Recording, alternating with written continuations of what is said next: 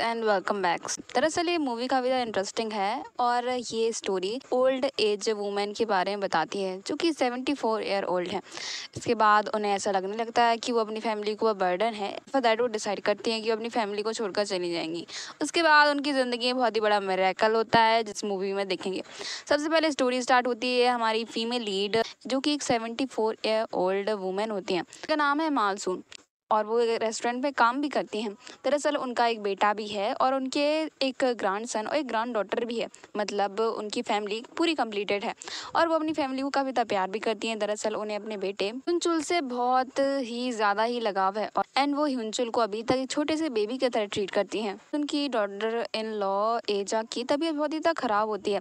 इसके बाद उनकी ग्रांड सन जीहा को देखते हैं, जो कि बॉय बैंड में एक मेन सिंगर काम करता है। इसके बाद यहाँ पर उसकी मामों से बोलती हैं कि जी हाँ तुम ऐसे बॉय बैंड में काम करना बंद कर दो, पढ़ाई लिखाई करो। यहाँ पर माल सोन उसे पूरा सपोर्ट करती है। और कहती है कि ये कोई गलत बात नहीं है कि हम सिंगर बने। इसके बाद वो जिहा को काफ़ी सारी टिप भी देती हैं। इसके बाद जिहा अपने ग्रांड मदर को थैंक यू बोलता है बिकॉज़ वो उसके लिए काफ़ी ज़्यादा स्वीट है। यहीं पर हम एजा की बात करें तो बीमार होती जा रही थी और इसके बाद हम उसकी ग्रांड डॉटर को देखते हैं। जो कि काफ़ी आलसी है और वो पढ़ाई लिखाई भी में भी अच्छी नहीं है। इसके बाद वो कहती है कि, मॉम, मुझे डिस्टर्ब मत करो, मुझे बस सोना है। मालसून जब यंग थी तो वो एक सिंगल मदर के तौर पर उन्हें ह्युनचुल की बहुत ही अच्छे से देखभाल की थी। दरअसल उनके हस्बैंड की डेथ काफ़ी पहले हो चुकी थी और उसके बाद उन्हें सिंगल मदर होकर काफ़ी ज़्यादा मुश्किलें उठाने पड़ी। इसके बाद एजा बहुत ही ज़्यादा बीमार हो जाती है और उन्हें हॉस्पिटल ले जाया जाता है। एजा ह्युनचुल से कहती है काफ़ी परेशान है। तभी ह्युनचुल कहता है कि शायद ये दरअसल मॉम की वजह से हुआ होगा। मालसून के साथ। इसके बाद वो डिसाइड करते हैं कि वो मालसून को ओल्ड एज होम भेज देंगे। बस कुछ दिनों के लिए, ताकि जब एजा ठीक हो जाए तो उसे वापस ले आएँगे। यहीं पर जी हाँ इसके लिए तैयार नहीं होता। और कहता है, क्या हम ऐसे ही ग्रांड मदर को कहीं भी नहीं भेज सकते? मैं इसके लिए बिल्कुल तैयार नहीं हूँ। तभी हाना कहती है कि, अगर मॉम यही चाहती हैं तो हमें करना चाहिए। लेकिन मालसूम सब कुछ सुन चुकी थी और वो सोचती है कि सच में वो बर्डन बनती जा रही है अपनी फैमिली पर। आफ्टर दैट, जब वो अपने फैमिली के साथ लास्ट डिनर करती हैं और बाहर ही बैठी होती हैं, उनका रोना स्टार्ट हो जाता है। तभी यहाँ पर उन्हें जी हाँ कॉल करता है और कहता है कि, ग्रांड मदर, मुझे उनके हाथ का खाना खाना है। और वो अपने कुछ फ्रेंड को भी लेकर आ रहा है। तभी यहाँ पर मालसून कहती है कि, ठीक है का वेट करेगी।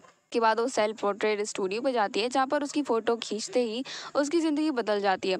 जब वो बस की तरफ़ भागती है और बस में बैठ जाती है, यहाँ पर एक लड़का उसके साथ फ्लट करता है। मालसूम सोच रही थी कि क्या ये एक पागल छोटा सा बच्चा सेवेंटी फोर ईयर वुमेन के साथ फ्लट कर रहा है। इसके बाद वो उस बंदे को काफ़ी ज़ोर से मारती है, जब अपना चेहरा मिरर में देखती है तो उसे पता चलता है कि वो तो स्वीट सिक्सटीन लग रही है। अब दैट वो एक शॉप पर जाती है। यहाँ पर वो कुछ पिल्स खाती है और कहती क्या वो यंग लग रही है। यहाँ पर वो दो लोगों से पूछती है, तभी वो कहते हैं कि हाँ आप नाइनटीन या फिर ट्वेंटी लग रही हैं। इसके बाद मालसून का दिमाग ख़राब हो जाता है और कहती है, क्या ये कैसे हो सकता है? वो तो अभी ओल्ड एज में थी यंग कैसे हो गई? मानसून के लिए ये सब एक्सेप्ट करना बहुत ही ज़्यादा मुश्किल था। इसके बाद वो सोचती है कि हटो यार, अगर मुझे अपनी ज़िंदगी कुछ टाइम के लिए नई जीने को मिली है तो मुझे जीना चाहिए। यहाँ पर उसकी फैमिली इस बात के लिए परेशान हो रहे थे कि आखिर मानसून गई कहाँ? लेकिन मानसून तो अपनी ज़िंदगी जीने में लगी हुई थी। इसके बाद वो शॉपिंग पर जाती है, यहाँ पर वो ढेर सारी शॉपिंग करती है और अपनी ट्वेंटीज़ की ज़िंदगी फिर से रिव्यू कर लेती है। अब फॉर दैट हम मानसून को देखें तो उसे रहने के लिए कोई जगह चाहिए। इसके बाद अपने फ्रेंड मिस्टर पार्क के यहाँ रहने के लिए जाती है। दरअसल ये उसकी ओल्ड एज पार्टनर हैं जो कि उसके अभी भी काफ़ी अच्छे फ्रेंड हैं। यहाँ पर मिस्टर पार्क की बेटी उनके घर पर होती है, जो कि माल्स उनको रहने के लिए जगह दे देती है। इसके बाद वो कमरा रेंट पे लेती है। यहाँ पर उसे पैसे ऐटने के लिए होती है बट माल्स कहाँ मानने वाली थी? और कहती है, तुमने मुझे पागल समझ रखा है। मैं यहाँ पर बगल वाले रूम में रहूँगी, इसके ऊपर सीढ़ियाँ भी नहीं है तो तुम मुझसे ज़्यादा होशियारी करने की कोशिश मत करो। तो मासूर कहती है कि हाँ कि कौन पता है तो ज़्यादा चालाकी की ना तो तुम्हारा मुँह तोड़ दूँगी। बाद उसी रेस्टोरेंट में जाती हैं, जहाँ पर वो पहले काम किया करती थी। आफ्टर दैट वो यहाँ पर सिंग करती है। और जब वो गाना स्टार्ट करती है तो यहाँ पर सभी लोग इमोशनल हो जाते हैं बिकॉज़ हम मानसून की बात करें तो अपनी ट्वेंटीज़ में काफ़ी अच्छी सिंगर हुआ करती थी। उसे ऑडिशन का भी ऑफ़र मिला था बट उसने रिजेक्ट कर दिया बिकॉज़ उसे अपने बेटे का चुल का ख्याल जो रखना था। हमें यहाँ पर अपने फ़र्स्ट में लीड शिंगू की एंट्री होती है। दरअसल वो एक टीवी डायरेक्टर है, और वो यहाँ पर अपने नए बैंड को ढूंढ रहा होता है मतलब कोई ऐसी सिंगर जो कि अपने दिल से गाती हो, ना कि अपने गले से। लेकिन जब जब वो यहाँ पर मानसून की आवाज़ सुनता है तो काफ़ी ज़्यादा इम्प्रेस होता है। उसे एक ही नज़र में मानसून काफ़ी ज़्यादा पसंद आ जाती है। जब मानसून यहाँ पर जीहान को भी देखती है, जो कि उसका ही गाना सुन रहा था, इसके बाद वो वहाँ से भाग जाती है।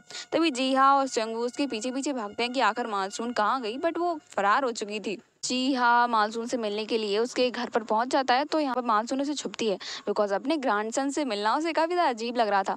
यहाँ पर जी हाँ तो सोच रहा था कितनी ज़्यादा ब्यूटीफुल है। अब उसे क्या पता कि ये उसकी ग्रैंड मदर है। तभी वो अपना नाम ओ दूरी इंट्रोड्यूस करवाती है। यहाँ पर जी हाँ कहता है कि अच्छा नाम है। इसके बाद यहाँ पर जी हाँ उससे कहता है कि मुझे तुमसे कोई बात करनी है। दरअसल मैंने जब तुम्हें पहली बार देखा था तो मुझे काफ़ी ज़्यादा अच्छा फील हुआ। इसके बाद यहाँ पर ओ दूरी को लगता है शायद उसका ग्रांड सन उससे ही अपने प्यार का इजहार करने वाला है। यहाँ ओदूरी से कहता है कि दरअसल तुम मेरे बारे में कुछ भी नहीं जानती। यहाँ पर ओदूरी सोच रही थी, छोटे से बच्चे, मैंने ही तुम्हारा नाम रखा है और तुम मुझे ही बता रहे हो। उसे लगता है शायद वो उससे अपने प्यार का इजहार करेगा। तब यहाँ पर ओदूरी उठकर चिल्लाने लगती है कि नहीं नहीं, ये नहीं हो सकता, नहीं हो सकता, तुम क्या बोल रहे हो? तभी हमारा जी हाँ कहता है कि नहीं, मैं ऐसा कुछ नहीं बोल रहा, मैं तुमसे ये बोलना चाहता हूँ, दरअसल हमारे बॉय में लीड वोकलिस्ट की कमी है, इसलिए मैं चाहता हूँ कि क्या तुम इसमें इंटरेस्टेड हो तो मैं ये करना चाहूँगा। तभी वो कहती है, क्या? मतलब मुझे गाना गाना है। और ये सपना तो दरअसल हमारी, वो दूरी का बचपन से था। बट उसके ट्वेंटीज़ में काफ़ी सारी घटनाएँ हुई, जिसके बाद उसे कभी मौका ही नहीं मिला अपनी खुद की ज़िंदगी भी इंजॉय करने का। इसके बाद अपने ग्रांडसन के साथ उसके बॉयबैंड में जाती है, जहाँ पर उनका गाना सुनती है तो उसके कान फटे जाते हैं। बिकॉज़ उनका स्टाइल एकदम रॉकिंग वाला था, और जब उनका स्टाइल दिखती है तो परेशान हो जाती है और कहती क्या बाड़ी कौओं की तरह बने हुए हो। इसके बाद वो जिया से कहती है कि ऐसे गानों से तुम कहीं भी नहीं जा सकते। हमें एक बढ़िया सा स्वीट सा गाना गाना चाहिए, जिसमें वायलन हो और मेरी स्वीट सी वॉइस हो। इसके बाद जिया कहता है कि हाँ जो भी तुम कहो बट हमें अच्छे से आगे बढ़ना है। उनके पास परफेक्ट प्रैक्टिस करने की भी जगह नहीं होती है। इसके बाद वो सभी वो सभी पब्लिक के सामने ऐसे ही अपनी परफॉर्मेंस देना स्टार्ट करते हैं। दूरी के वोकल के साथ उनका बैंड काफ़ी जल्दी पॉपुलर हो जाता है। काफ़ी सारी भीड़ वो दूरी का गाना सुनने के लिए आती है। है बिकॉज़ वो काफ़ी अच्छी सिंगर है। यहाँ सेंग वो तो कब से ओदूरी को ढूंढ रहा था, इसके बाद जब उसे ओदूरी दिखती है तो पीछा करता है। यहाँ पर ओदूरी को समझ में आ रहा था कि कोई इसका पीछा कर रहा है, इसके बाद वो फ़िश उठाकर उसके ऊपर हमला करती है और कहती है, तुम मेरा पीछा कर रहे हो, सुनो, मैं ऐसी घटिया हरकतों से ना बहुत ही जल्दी वाकिफ हो जाती हूँ। यहाँ पर सोंगू कहता है कि प्लीज़ मुझे तुमसे दो मिनट बात करनी है, मैं कुछ अच्छा प्रोग्राम लेकर आया हूँ तुम्हारे लिए। तभी वो दूर कहती है कि, चलो हटो, तुम किसी काम के भी नहीं हो। पास ही पुलिस आती हुई देखती है, इसके बाद वो हेल्प के लिए चलाने लगती है और पुलिस सिंगू को पकड़ कर ले जाती है। कहता है एक बार मेरी बात तो सुन लो, ऐसा कुछ भी नहीं है। उसके बाद जी हाँ दूरी को अपने घर पर लंच के लिए इनवाइट करता है। यहाँ पर वो सभी से काफ़ी अच्छे से मिलती है और अपने रूम में जाकर अपना क्रेडिट कार्ड ले लेती है जिसे वो उसे एक्टिवेट करना था। यहाँ पर जब चूल वहाँ पर आता है तो उसे ग्रीट करती है। सभी लोग सोचते हैं, क्या ये दोनों एक दूसरे को जानते हैं? उसे लगता है कि नहीं, वो अपने बेटे को सबके सामने ऐसे ग्रीट नहीं कर सकती। इसके बाद हिंचुल उसे देखकर अविदा परेशान होता है और कहता है कि, मुझे ऐसा लग रहा है कि मैंने तुम्हें कहीं देखा है। दरअसल दरअसल हम बात करें तो मानसून के जाने के बाद उनकी फैमिली काफ़ी अकेली हो गई है। एजा अभी भी अपनी मदर इन लोगों का भी तो मिस करती है।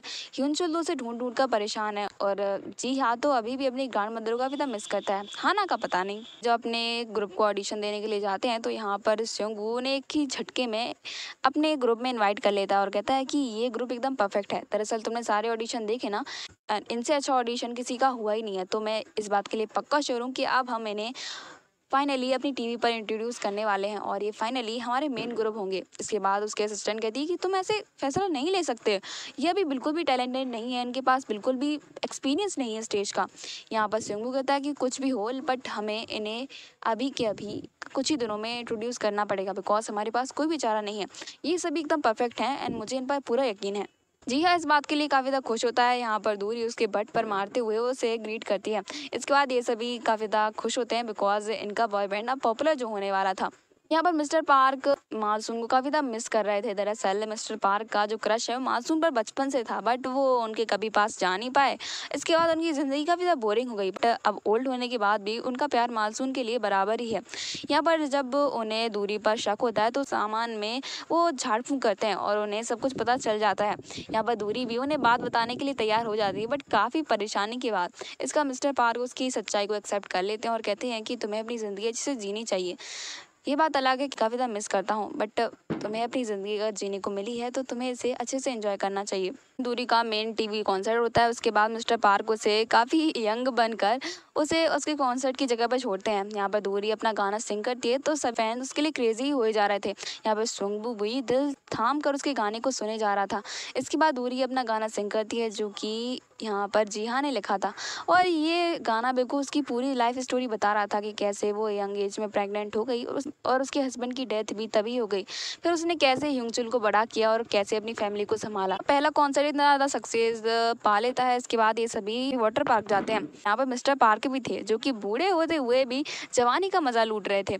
इसके बाद जब वहाँ पर ये सभी इंजॉय कर ही रहे होते हैं, तभी दूरी पानी में डूबने लगती है स्विंगबू से बचा लेता है। दरअसल स्विंगबू हमारी दूरी को काफ़ी ज़्यादा पसंद करता है और उसे, उसकी आवाज़ से और उसकी नेचर से काफ़ी ज़्यादा प्यार है। बिकॉज़ वो सबसे हटके है, उसका जो बिहेवियर है, वो भले ही बड़ों जैसा है पर बट हरकतें भी बच्चों जैसी हैं। यहाँ पर दूरी भी सिंगू में काफ़ी ज़्यादा इंटरेस्टेड थी और कहती है कि आपने मेरी हेल्प की थैंक यू इसके बाद आप दूरी अपने पैर की तरफ़ देखती है तो तो उसके पैर में चोट लग गई थी। यहाँ पर सिंगू उसकी हेल्प करने के लिए होता है बट वो यहाँ से चली जाती है। तभी घर जाकर मिस्टर पार्क उससे कहते हैं कि तुम्हारा ब्लड जहाँ से ड्रेन हो रहा है, वहाँ पर तुम अपना ओल्ड घर पाती जा रही हो। मतलब अगर तुम्हारा ब्लड ड्रेन किया गया तो तुम फिर से वही ओल्ड वुमेन बन जाओगी। वह मिस्टर पार्क की बेटियों ने ऐसी हालत में देख ली थी और उससे ऐसा शक हो जाता है कि ओल्ड एज वाले dad twenty year old women के साथ रिलेशनशिप में है। यहाँ पर वो दूरी को ज़्यादा मारती है और उसे घर से जाने के लिए बोलती है। इसके बाद उसके डैड उसी पर गुस्सा हो जाते हैं कि वो ऐसे किसी के साथ बिहेव नहीं कर सकती। इतने ज़्यादा गुस्सा होने पर दूरी को घर छोड़कर जाना पड़ता है और उसके पास रहने का ठिकाना भी नहीं था। इसके बाद उस संगबू को कॉल करती है। यहाँ पर संगबू कहता है, क्या तुम ठीक हो? लेकिन तभी रास्ते में बारिश स्टार्ट हो जाती है और उसके बाद रहने तक का ठिकाना नहीं था। तभी संगबू उसे अपने घर पर लेकर आता है। यहाँ पर उसका घर काफ़ी बड़ा था और वो अकेला ही उस घर में रहता है। और सिंगू से बात करने पर दूरी को पता चलता है कि सिंगू बचपन से ऑर्फन है और उसने कभी भी अपनी मोम का प्यार पाया ही नहीं। अब बताइए वो दोनों बातें करते करते एंड ड्रिंक करते करते वहीं पर सो जाते हैं। दूरी उसे कंबल देती है और कहती है कि तुम ड्रिंक करने में अच्छे नहीं हो तो ड्रिंक मत किया करो। दरअसल दूरी भी सिंगू को काफ़ी पसंद करने लगी थी और वो यंग बनी रही तो शायद उसका जो रिलेशनशिप है वो सिंगू के साथ आगे प्रोसीड हो। चिंगू दरअसल जिहा के नए ग्रुप का जो गाना होता है, उसे रिजेक्ट कर देता है। इसके बाद जिया गुस्सा हो जाता है। जब दूरी से मनाने के लिए आती है तो इसे कह देता है कि तुम तो सिंगू के साथ नाइट स्पेंड भी कर कर आई हो। तुम्हें मेरी कोई चिंता नहीं है, तभी दूरी उसे माना स्टार्ट कर देती है और कहती है कि तुम भी छोटे हो, तुम्हारा बड़ा मुँह बहुत ही बड़ी बड़ी बातें बोल रहा है। आखिर उसकी ग्रांड मदर जो है तो हरकतें तो उसकी ग्रांड मदर जैसे ही रहेंगी। इसके बाद वो उसे मोम की तरह मार तो लेती है बट बाद में उसे अपने हाथ से खाना भी खिलाती है और कहती है, ज़्यादा हंसने की ज़रूरत नहीं है, मुझे ये सब करना पड़ता है। बच्चों को मारने के बाद उन्हें सहलाना भी पड़ता है। यहाँ पर जिया कहता है कि, लेकिन वो बच्चा नहीं है तुम्हारा।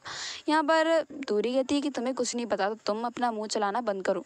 इसके बाद उन्हें नेक्स्ट कॉन्सर्ट के लिए अपॉइंट किया जाता है। यहाँ पे दूरी जी हाँ सभी काफ़ी ज़्यादा खुश होते हैं बिकॉज़ ये उनका मेन कॉन्सर्ट होने वाला है, जिसमें बहुत सारे लोग आने वाले हैं।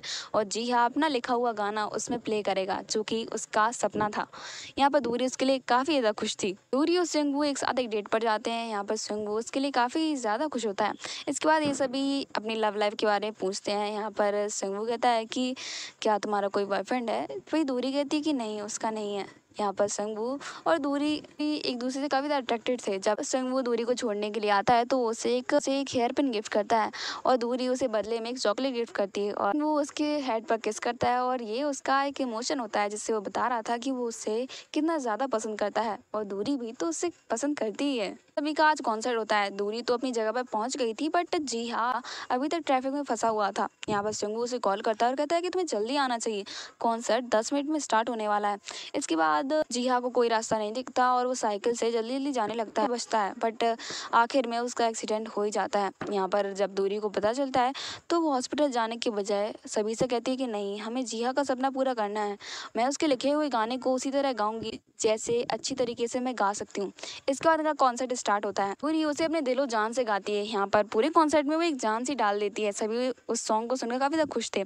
पर सोंगबू भी दूरी पर प्राउड कर रहा था बिकॉज़ उसने पूरे कॉन्सर्ट को बचा लिया। यहीं पर हम जिया को देखें तो उसका काफ़ी ज़्यादा ब्लड लॉस हो गया था। इसके बाद दूरी सीधा हॉस्पिटल के लिए भागती है। जिया को ब्लड की ज़रूरत थी और वो ब्लड ग्रुप सिर्फ़ उसकी ग्रांड ग्रांडमा का था मतलब दूरी का। दूरी आ जाती है और कहती है कि उसका भी ब्लड ग्रुप सेम है। तो ब्लड देने के लिए तैयार है। मिस्टर पार्क दूरी को रोकते हैं और कहते हैं कि तुम्हारा ब्लड ड्रेन हुआ तो उसके बाद तुम हमेशा के लिए वही ओल्ड एज बन जाओगी। और मैं नहीं चाहता तुम ये सब करो। तभी दूरी कहती है कि उसे अपने ग्रांड सन के लिए ये सब करना ही पड़ेगा। यहाँ पर ह्यूनसोल उसे अप्रोच करता है और उसने सारी बातें सुन ली थी और कहता है कि आपको ये सब करने की ज़रूरत नहीं है मॉम मैं आपको कविता परेशान कर चुका हूँ। और मैं चाहता हूँ कि आप अपनी ज़िंदगी अच्छे से जिए, जिसे आप पसंद करती हैं। मैं नहीं चाहता कि अपनी ट्वेंटीज़ की ज़िंदगी किसी बच्चे को संभालने में लगा दें, जैसा कि आपने पहले किया था। और मुझे लगता है कि आपका एक बहुत ही प्यारा सा बेबी हो, जो कि मेरी तरह बुरा ना हो और वो आपका बहुत ही अच्छे से ख्याल रखे। पर इमोशनल बातों का सिलसिला चल रहा था, तभी यहाँ पर दूरी कहती है कि नहीं, ये ज़रूरी नहीं है। वो चाहती है कि वो स्ट्रगल करे अपनी हर ज़िंदगी में और तुम्हारे जैसा बेटा पाए। और कहती है कि उसका प्यार कभी भी कम नहीं होगा और वो अपने ग्रैंडसन को ऐसे छोड़कर नहीं जाएगी। वो समझाने की कोशिश करता है कि वो जैसे ना जैसे अपने बेटे को बचा लेगा बट आप अपनी ज़िंदगी स्पॉइल मत कीजिए दोबारा मेरे लिए। लेकिन दूरी तैयार नहीं होती और मैं ब्लड देने के लिए तैयार थी। सिंगू भी दूरी को ढूंढते ढूंढते वहाँ पर आता है।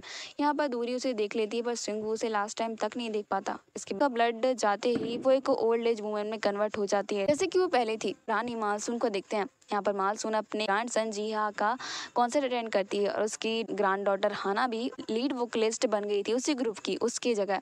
इसके बाद वो सभी का विदा खुश थे। मालसून लास्ट टाइम संगू को देखती है, जो कि लड़की के साथ बात कर रहा होता है, पर सिंगू उसे देखता रह जाता है और मालसून वहाँ से चली जाती है। और मासूम के बालों पर अभी भी वही हेयर क्लिप थी, जो कि उस उसे संगू ने गिफ्ट की थी। और हम समझ सकते हैं उनका प्यार तो अभी तक संगू ही है। हम उसकी हेयर क्लिप से समझ सकते हैं। एक बार हम मिस्टर पार्क को देखें तो उन्हें फिर से वही शॉप दिखती है। जाने के बाद मासून सीधा दूरी बन गई। इसके बाद वो उस फ़ोटो शॉप पे जाते हैं और सरप्राइजिंगली वो मिस्टर पार्क तो सीधा किम सो यून में कन्वर्ट हो जाते हैं। वो मासून के पास आते हैं और अपनी बैग से उतरते हैं और उसके बाद कहते हैं कि चलें क्या? यहाँ पर मासून कहती क्या तुम भी यंग हो गए। यहाँ पर कमसू यून कहता है कि मुझे भाव दिखाने की ज़रूरत नहीं है। मैं यंग हो चुका हूँ तो बचकर रहना चाहिए।